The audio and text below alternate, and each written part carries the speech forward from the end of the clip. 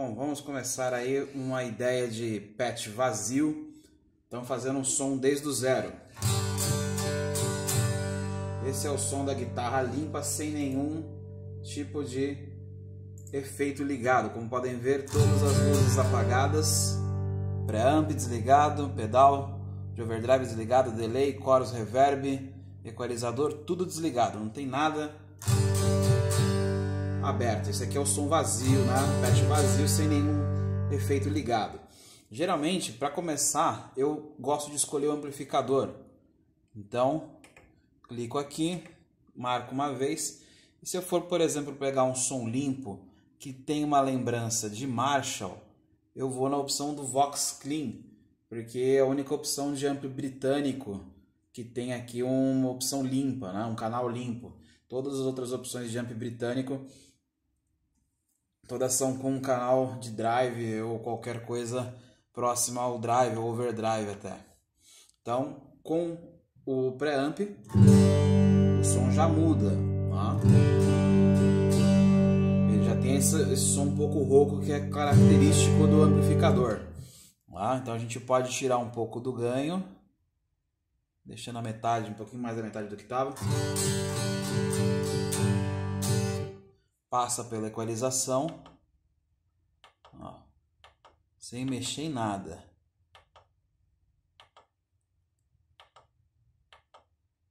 Dois de doze. Dependendo do patch que você pega, ele geralmente ele ainda guarda alguma coisinha, porque no caso aqui o som do amplificador original muda um pouco.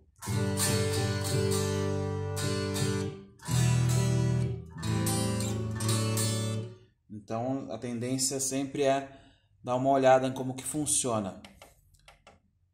Ao contrário de vários outros amplificadores daqui, o Presence é ao contrário. Então se você... É, opa, botão errado. Se você for diminuir o Presence, o que, que vai acontecer? Ele vai ficar com mais agudo, ou seja, o som ao contrário, ao contrário do que é normalmente, que ele fica com mais agudo quando você aumenta o presence, aqui você diminui, você diminui o presence, presence é negativo. Então o som do preamp fica mais brilhante. Se eu colocar todo o agudo aqui do amplificador, lembrando que eu estou usando aqui na guitarra o captador single coil, que é essa opção que tem aqui na guitarra.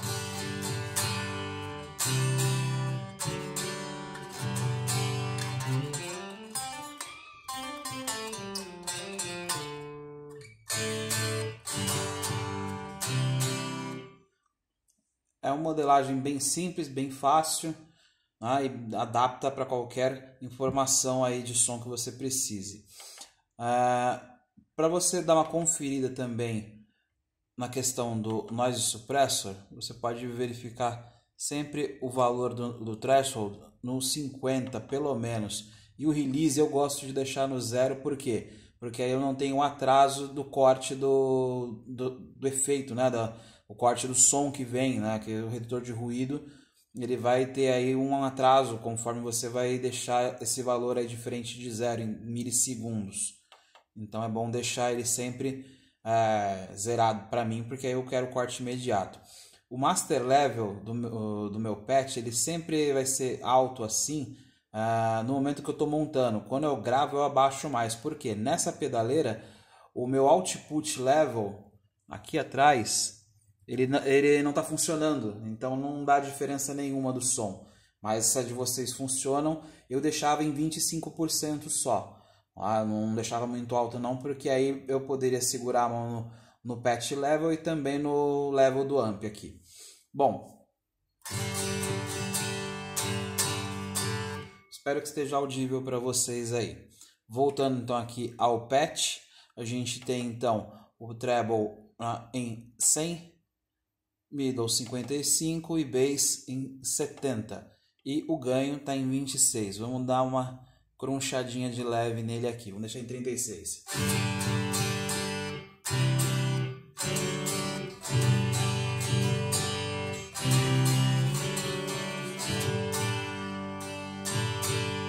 Ainda um som bem agradável.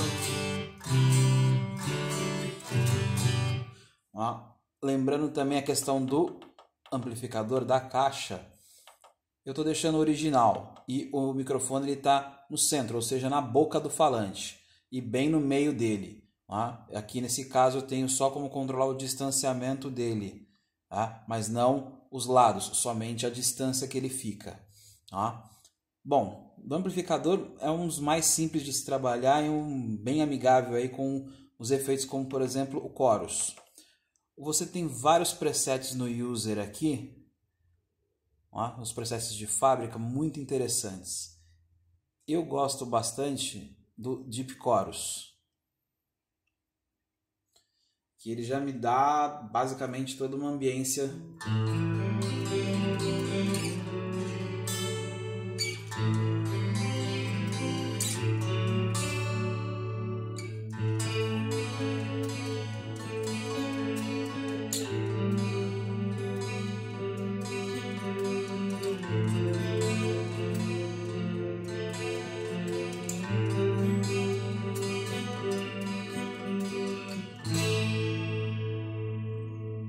interessante e não preciso exagerar. Eu já estou com o Deep Chorus aqui praticamente pronto.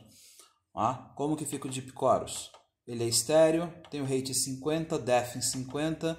O pré-delay dele está em 10 milissegundos, ou seja, ele tem um atraso de 10 milissegundos para que o efeito entre dentro da cadeia de sinal.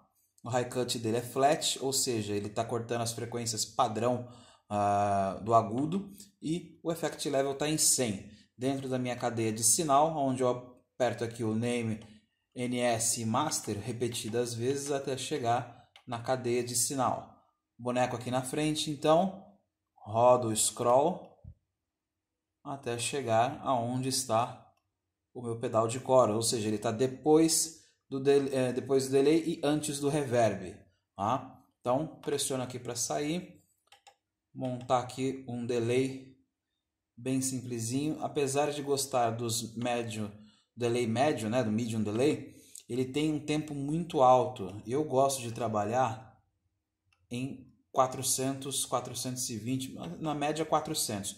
O delay time F, ele vai dar uma curvada a mais aqui no detalhe, porque nem a gente viu no outro na outra opção, no Delay Time, ele pula já de 20 em 20.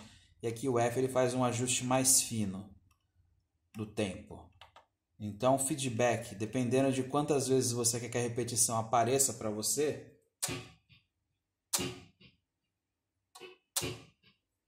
ó, você pode deixar mais alto ou mais baixo. Eu não trabalho com repetição muito alta para não embolar.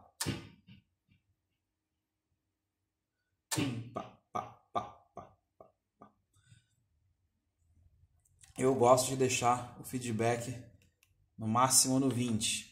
High cut também flat, porém posso começar um corte de frequências de agudo interessantes a partir dos 11K e posso dar um pouco mais de delay aqui.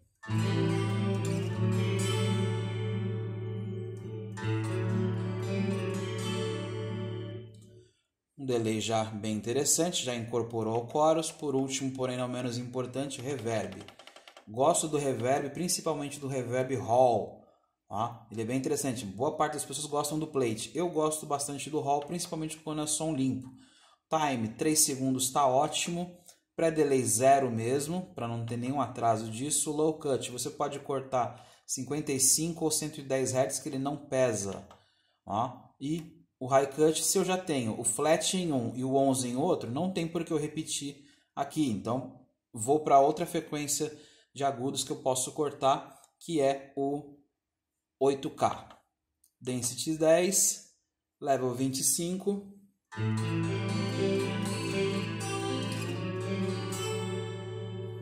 Muito bom, muito simples, muito fácil. Espero que vocês tenham gostado. É basicamente isso compõe meu som limpo aqui na pedaleira. Termino de salvar, tá feito o som. Espero que vocês tenham gostado. Qualquer coisa, deixa um recado aí no campo de, no campo de comentários.